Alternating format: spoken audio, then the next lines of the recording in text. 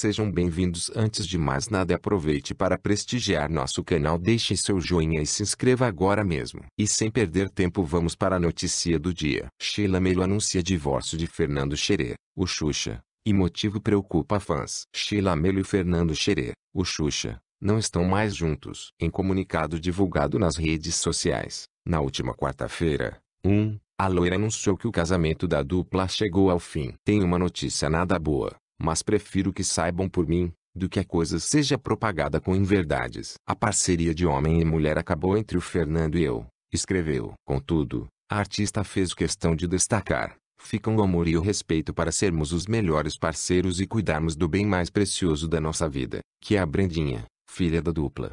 A dançarina também fez um agradecimento ao ex-companheiro. Só peço a Deus sabedoria. Obrigada, Xuxa, por tudo. Sempre amarei o que construímos. Vale lembrar que a dupla se conheceu durante a edição de 2009 de A Fazenda e engatou romance após o fim do programa. O casal subiu ao altar em junho de 2010. Juntos, os dois tiveram uma filha, Brenda, de 5 anos. E aí, o que você achou? Deixe seu comentário. Obrigado.